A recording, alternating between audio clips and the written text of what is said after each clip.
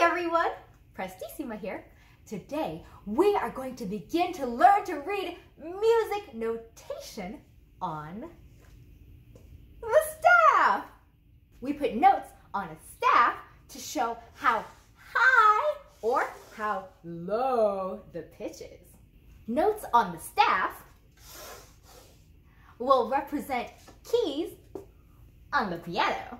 When composers first invented this type of music notation, it started with just one line.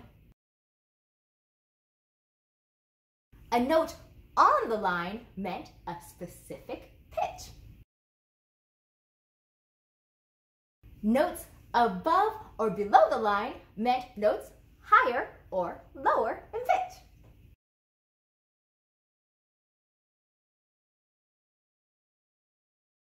Let me show you an example. Okay, so we started with the one line, remember? So there's one line, and there's a note that starts on the line. That's the pitch that's indicated by the line. Then over here, you have one that's above the line. So that's higher than that one, right? And then we have a note that's even higher than that one, right? So that's an even higher pitch. Now, under that, we have one that's below the line. So that's lower in pitch. And then here's one that's even lower than that one, right? So that one's even lower. And then over here, we have one on the line again. So it would be the same as that one. Over time, to make music notation more accurate, composers started adding more lines. They experimented with three lines and then seven lines, but then ultimately they decided that five lines was the best. We call these five lines a staff. One, two, three, four, five. We can put notes on the lines. See, one, there's two, three, four, five. Or we can also put the notes in the spaces between the lines, like here? In between the lines, four spaces.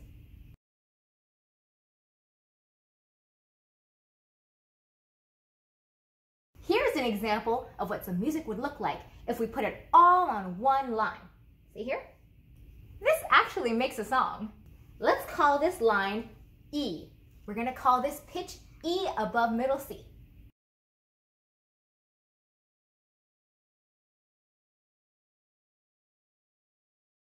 Let's see what it sounds like if we play it on the piano.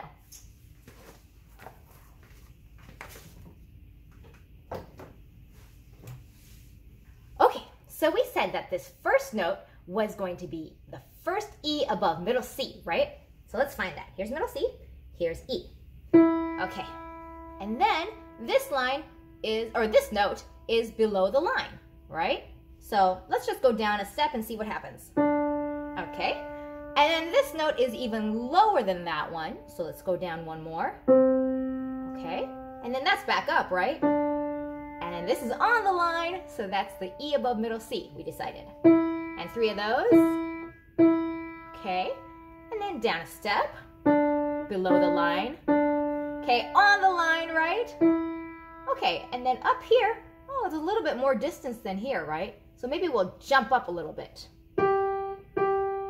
Hmm. This is starting to sound familiar. Let's go to the next line. So we have the E above middle C again, right? Okay, then below the line, so down a step, and then a little further down below. Okay, back up.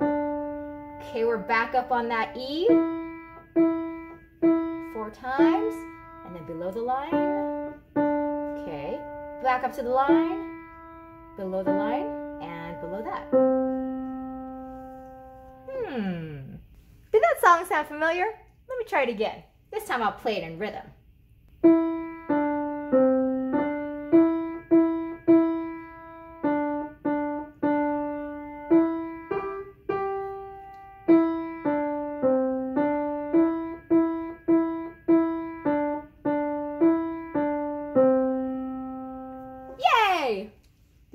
Recognize Mary Had a Little Lamb or merrily we roll along. This is how musicians first started reading and writing music in Western Europe hundreds of years ago. It's where our present system of common practice Western music notation began to be developed. Let's read and play the song again, this time using a staff of five lines. This time, we are going to start on the note B, specifically the first B above middle C. So here's middle C, and here's the first B above middle C. And so this first B above middle C is going to be the middle line of the staff. So you can see there's a big fat B on that middle line. That's going to be B.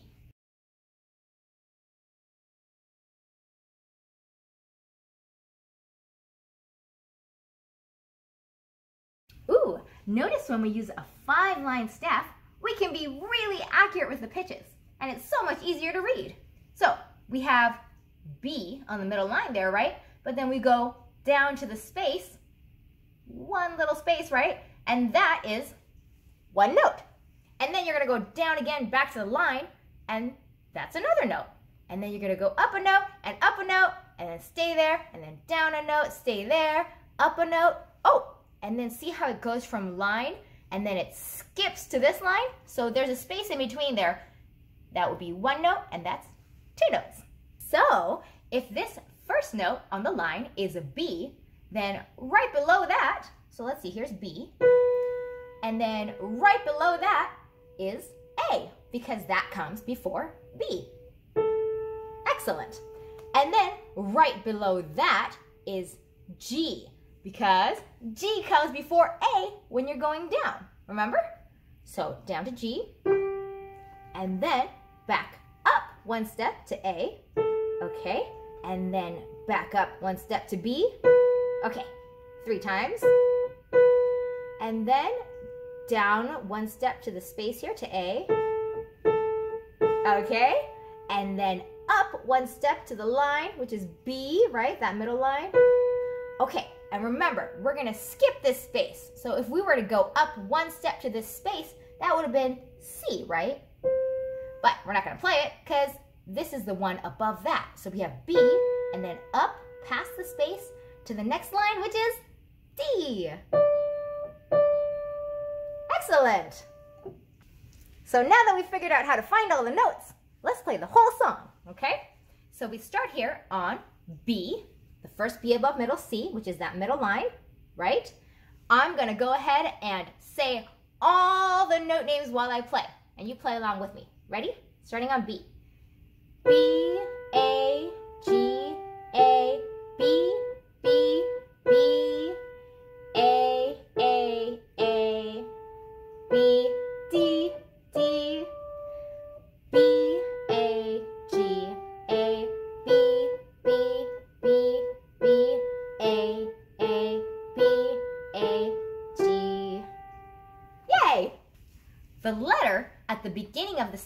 shows us the location of one note, the exact location of one note. Then we can go up or down or up or down or up or down or up or down or up or down to determine the other notes. So this letter at the beginning of the staff that shows us the exact location of the one note that we can use to base all the other notes off of, we call that a clef. Let's look at another example. Okay, so we have a five line staff and we're gonna say that this second line from the bottom, okay, so one, two from the bottom is the first G above middle C. So here's middle C. It's gonna be that note. And we marked it with a big fat G so you can see it. Right on that second line from the bottom. So, if this second line from the bottom is the first G above middle C, then if we go up, up to the space from this line, go up to the space, that's an A. And then if we go up to the line here, the line above the space, that's gonna be a B. And then we're gonna go up again, right? This way on the piano, this way on the staff. We're gonna go up again to that space, that's a C. And then we're gonna go up again to the line, and that's a D. And then the space is an E. And then up to the line is an F, and up to the space is a G. Right? Whole octave. All right, let's go back to this G down here, first G above middle C. Now, what if we were to go down, down the staff, right? This goes this way on the piano, right? So, if you have G on the line, then the space below it is F. And the line below that is E. And the space below that is D, and so on. So, since we use this G to show where the G is on the staff, we're going to call this a G clef. This is fun. Let's do another one. Okay, what do we have here? This is the second line from the top, and we're going to call that the first F below middle C. So here's middle C, and then here's F. Excellent. Okay, so if this is the first F below middle C on this second line from the top, let's see what happens when we go up. Up is this way on the piano, right? So if you go from this second line up to the space, that's a G, okay? And then up to the line, that's an A, and then one up there to the, to the space is a B. Okay, let's go back to that F. First F below middle C. Now what if we want to go down? down the staff, right? We want to go this way on the keyboard, right? So we have the first F below middle C, which is on the line. Then the space below that is E. Just go down a step, right? And then the line below that is a step below that. That's D. And then to the space below that is a C. And the line below that is a B. And the space below that is an A. And the line below that is a G and the space below that is an F. Cool, huh? So, because this F shows us where the F is, it's called F clef. The G clef and the F clef have become two of the important clefs that we use in music today. The G clef is also called the treble clef, and the F clef is also called the bass clef. The treble clef staff generally contains notes above middle C, and the bass clef staff generally contains notes below middle C. So the treble clef would generally play notes in this area and going up, and the bass clef would generally play notes in this area and going down. It's very important for us to know the difference between notes that are on the lines and notes that are on the spaces. So let's practice. Grab your handy dandy pencil and let's see, let's start with the lines. It says, draw 10 different notes on various lines of the staff below, right? We have five lines. Let's start with this first one. All right, here's one. Okay, here's another line. Whoops, that wasn't very good. Okay, how about this one? Here's a line. Oh, that was really good. Okay, here's a line. Uh-huh. Oh, that was a nice one. Okay, here's another line. All right. Should we go back up? Here's a line. Uh, I'm to pick a cool one like this one. All right, there's a line. There's a line. See how I drew circles on the lines? Do, do, do. I like this one a lot. Okay, and then down here, did I draw 10 yet? 1, 2, 3, 4, 5, 6, 7, 8, 9, 10, 11. Okay, I'll do one more for fun. Okay, all right. Notice that when we draw notes on the lines, the line goes through the middle of the note, right? Look at this one. Drew this note, and this line goes right through the middle of it, right? Here's a note on a line, and the line goes right through the middle of it, okay? I think I'm pretty good at that now. Let's go ahead and try this one. Draw 10 different, draw 10 different notes on various spaces of the staff below. Okay, they did one for us. I'll fill it in. Oops, there you go. So I'm going to draw a note in between the two lines like that. Okay, now here's a space, so in between these two lines. Okay, oh, that was a big one. Okay, how about here? next space. Okay, hmm. Okay, how about this space here? Okay, and then I'll go back up to this space and up to this one and up to this one. See? I'm always between the lines, okay? Now jump around a little bit. I like this space. Okay. And, oh, I like this space a lot. And, you know what? This is a space too. There's no line there. Which means this is a space too.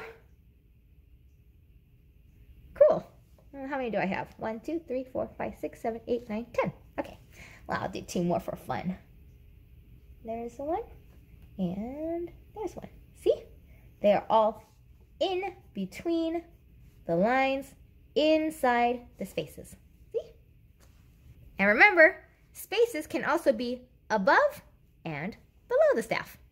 Okay, now that we've figured out our lines and our spaces, let's practice the notes on the G clef, or the treble clef, we also called it, remember? Okay, so we said that this second line from the bottom is G on the G clef, right? It's marked there with a big red G. Okay, so this is a line. Now, above this line, we have a space, and we called it A. Okay, so then above the A, we have a line called, oh, it's a box. What do we call this box? What is this line going to be called? If this is A, what is the next note above A, or the, the note after A in the music alphabet going up? Good, it's a B. Oh, excellent. I got it right in the middle. Okay, so then going up, from there we have a space, and that's C.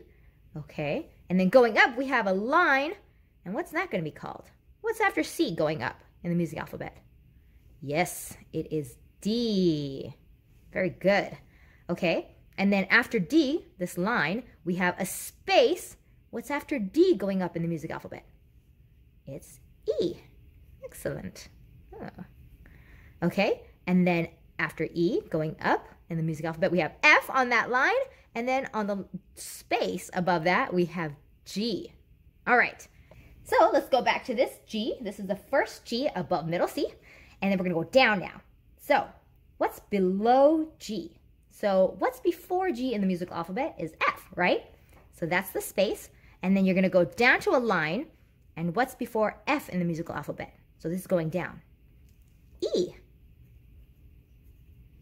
Okay, excellent.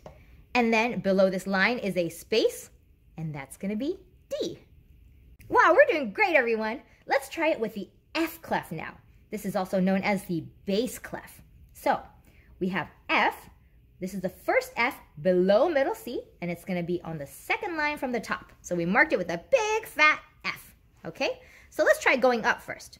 What's after F in the musical alphabet is G, right? So from the line to the space is G. And then from this space, we go up to this line. And what's that called?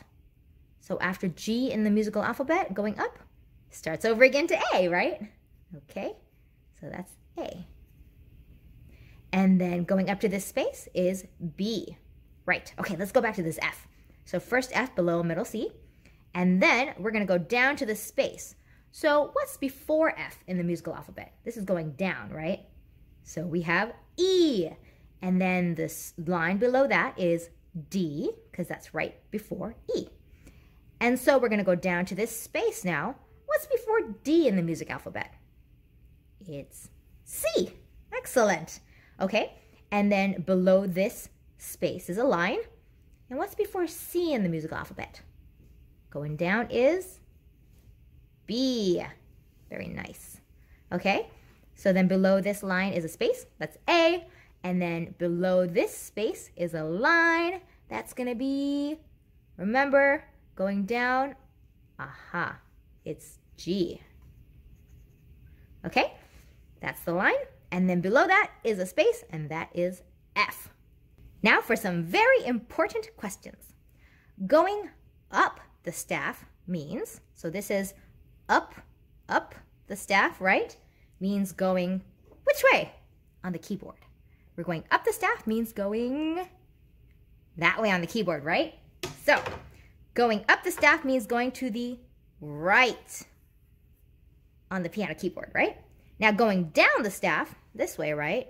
Down the staff means we're going which way on the piano keyboard? So down is this way, right? So we're gonna go down the staff, meaning going to the left on the piano keyboard. Wow, everyone! We learned a lot today. We began to learn to read music notation on the staff. We learned that a staff has five lines. We learned that when we name one note on that staff, we call that a clef. We learned that when we have a staff that points to the first G above middle C, we call that a G clef or a treble clef. And when you have a staff that points to the first F below middle C, we call that F clef or bass clef. We learned that notes can go on lines or in spaces. And we learned that when you go up or down the lines or spaces, we're going up or down the music alphabet. Every line or space on the staff represents a key on the piano. And now you know how to find them. In our next video, we're going to learn a song where we read the notes on the staff. Can't wait to see you all again soon. Prestissima out.